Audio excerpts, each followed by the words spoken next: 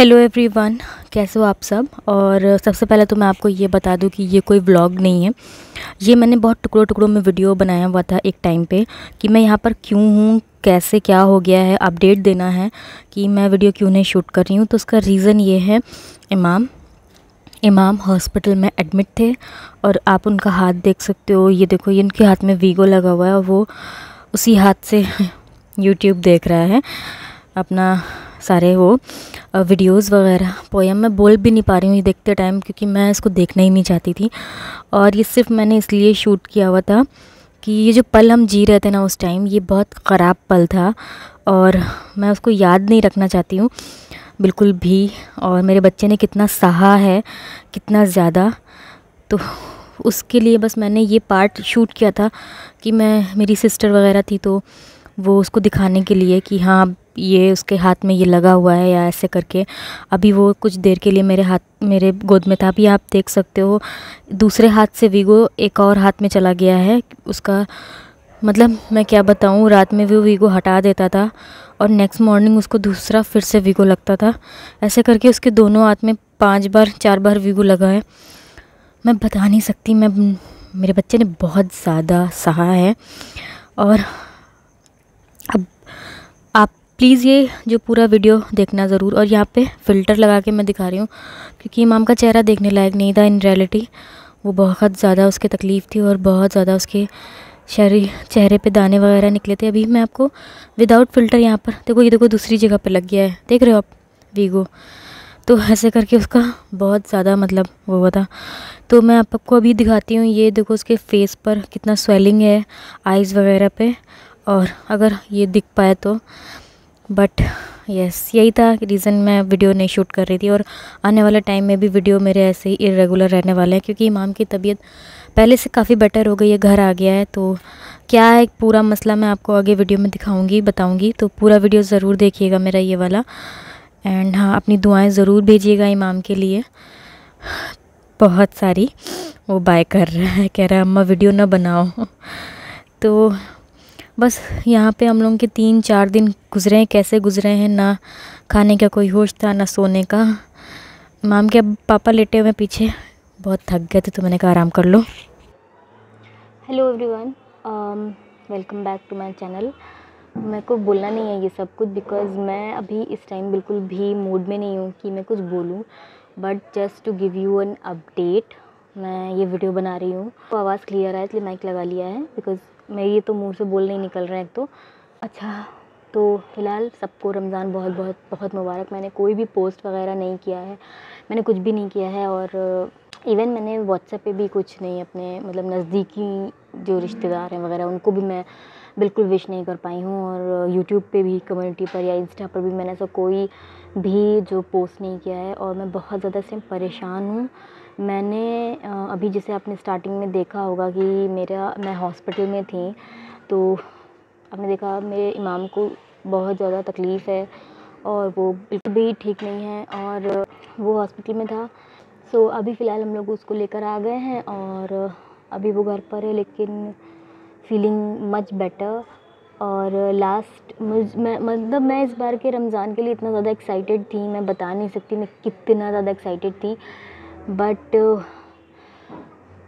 Okay कोई बात नहीं। लास्ट ईयर भी मेरे साथ ऐसे ही हुआ था लेकिन लास्ट ईयर मैं थी हॉस्पिटल में। अगर आपको याद हो मैंने एक अपडेट भी डाला था एक एक एक मिनट का कुछ कि मैं हॉस्पिटल में हूँ। बिकॉज़ मुझे बताना पड़ता है कि मतलब मैं एक्टिव नहीं रहूँगी।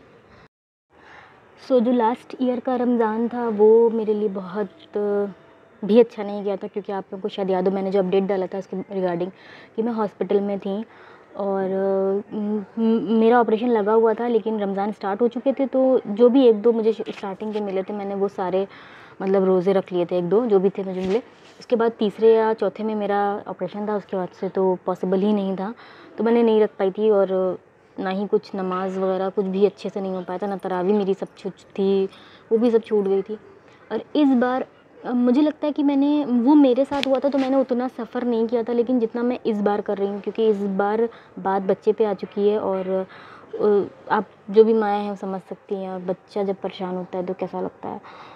हम लोग यही सोचते हैं ना माँ बाप को हो जाए, जो होना है हम लोग को हो जाए, लेकिन बच्चों को कुछ ना हो, लेकिन उसको हुआ और वो हॉस्पिटल में एडमिट रहा है तीन दिन और बहुत ज़्यादा तकलीफ़ों के साथ उसने जो भी ये दिन बिताए हैं बहुत ज़्यादा तकलीफ़ों के साथ बिताए हैं और अभी भी वो घर तो आ गया है, बैठा है और बट मुझे लग रहा है घर की फीलिंग घर की वाइब ही अलग होती है। वो आ गया है तो बहुत अच्छे से बैठा है, बातें कर रहा है और इस टाइम तो मैं इसको अब कैमरे पे नहीं दिखाऊँगी बिकॉज़ देखने लायक नहीं है अभी वो उसके बहुत सब चेहरे पे सब कुछ उसके रैशेज़ वगैरह आ गए हैं तो नहीं अच्छा लग रहा है, उसको मैं नहीं दिखाऊँगी।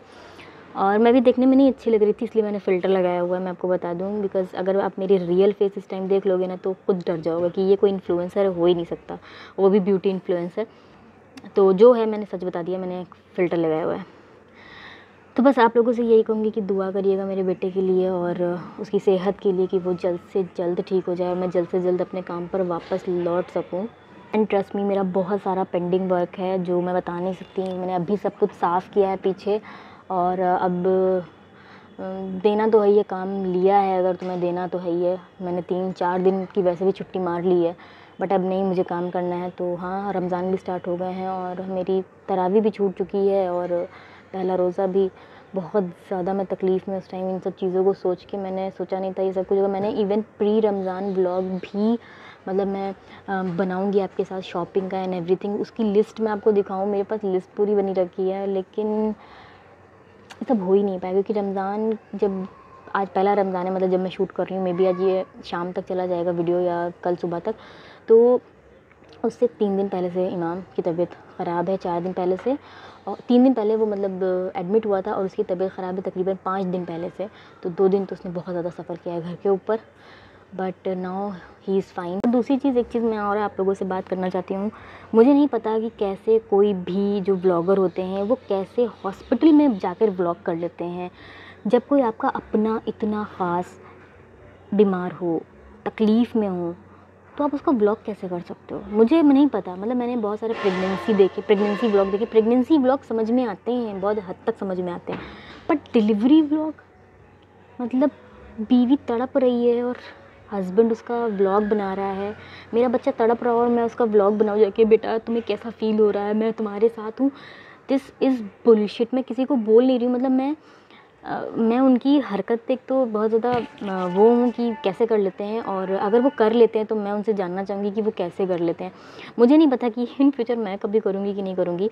हाँ मतलब मुझे पता है कि भाई मैं अगर तकलीफ़ में हुई तो मैं अपना खुद का ब्लॉग तो बना नहीं पाऊँगी और जो रहे बात मेरे हस्बैंड की तो आप लोगों को पता है वो कभी ब्लॉग नहीं बनाते हैं। और अगर मैं इन फ्यूचर जैसे प्रेग्नेंट हुई और मैंने अपने हस्बैंड से बोला कि आप मेरी डिलीवरी का ब्लॉग बना दो और मैं ऐसे तड़प रही हूँ, आप दिखाओ तो आई थिंक वो मुझे झापड़ मारना रसीद मतलब प्रेफर करेंगे बट मेरा व्लॉग बनाना तो कभी प्रेफर नहीं करेंगे। जस्ट इन केस मतलब मज़ाक कर रही हूँ, कभी ऐसा करते नहीं हैं। मतलब मैं मज़ाक कर रही हूँ मतलब वो थप्पड़ वप्पड़ नहीं मारेंगे, लेकिन मैं एक बात कर रही हूँ कि वो कभी व्लॉग नहीं बनाने वाले, कि वो वो परेशान हो जाएँगे कि जब मैं परेशान हूँ, मैं तकलीफ़ में तो वो परेशान हो जाएँगे और उस हालत में वो कैमरा उठाएँगे, अपने हाथों में लेंगे? नहीं भैया, वो कभी नहीं लेंगे। तो बस मैं ये कहना चाहूँगी। और मुझे समझ में नहीं आता है कि कोई अपनी पहली डिलीवरी में या पहली प्रेगनेंसी में ऐसा कैसे कर सकता है। मैं फुल सपोर्ट में हूँ प्रेगनेंसी ब्लॉग्स के, क्योंकि बंदी कैसा फ़ील कर रही है, क्या कर रही है उसके लिए, उसकी क्या तकलीफ़ें आ रही हैं, उससे वो कैसे ओवरकम कर पा रही है, वो सब समझ में आता है, उससे बहुत लोगों की हेल्प होती है बट डिलीवरी ब्लॉग से किसी की कोई हेल्प नहीं होती। ये एक तरीके का बहुत गंदा लगता है यार, उसको बंद करो यूट्यूब यूट्यूब को तो कभी इन सब चीज़ों के लिए हामी नहीं बननी चाहिए थी फ़िलहाल। और हाँ ठीक है। मैंने तो अब मतलब डिलीवरी ब्लॉग तो छोड़ दो, मैंने बहुत सारे ब्लॉग्स ऐसे देखे हैं जो मतलब अपना किसी चीज़ का भी ऑपरेशन कराने गए हैं तो वो उसका भी, उसके बारे में भी बता रहे हैं, ठीक है। तो मेरे को नहीं समझ में आता, बहुत सारे सो ना मैंने अपनी शादी का ब्लॉग बनाया था, ना मैंने अपनी इंगेजमेंट हल्दी, किसी चीज़ का ब्लॉग क्योंकि कुछ चीज़ें बहुत ज़्यादा प्राइवेट होती हैं, बहुत ज़्यादा पर्सनल होती हैं। Being a YouTuber being a social media influencer मुझे पता है हम लोग की लाइफ पब्लिक होती है, लेकिन इतनी भी पब्लिक नहीं होती है कि हम लोग, फिर यार बेडरूम में भी कैमरा लगा दिया करो और हस्बैंड के साथ जो है सारे वीडियोस डाला करो यूट्यूब पे, क्यों नहीं डालते कोई लोग? डाला करो वैसे अब तो ये सब भी होने लगा है, ये सब भी मैंने फैमिली ब्लॉग्स के नाम पे ये सब भी चीज़ें बहुत सारी देखी हैं यूट्यूब पे। तो या तो बस यही था मेरा आज का अपडेट और ब्लॉग कि मैं इमाम की तबीयत ठीक होने के बाद ही थोड़ा अच्छे से कंटिन्यू कर पाऊँगी। लेकिन हाँ जो मेरे बचे हुए हैं, उनको तो मैं डालती रहूँगी, क्योंकि मुझे देने हैं ब्रांड्स को ब्रांड्स को, और दूसरी चीज़ ये कि मेरे बहुत सारे एडिटेड भी रखे हुए हैं, वो भी आते रहेंगे। तो दैट इज़ इट और अब मैं आपसे मिलूँगी मेरे नेक्स्ट वीडियो में। होपफुली जल्दी, बस दुआ करना, इमाम जल्दी ठीक हो जाए तो मैं जल्दी काम पे लौट पाऊँ। ठीक है that is it for today's video bye